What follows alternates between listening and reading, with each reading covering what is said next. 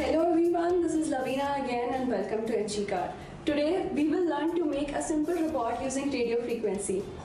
Radio frequency is basically any frequency which lies in the range of 3 kHz to 300 GHz. Radio frequency based robots find their applications in communication based systems.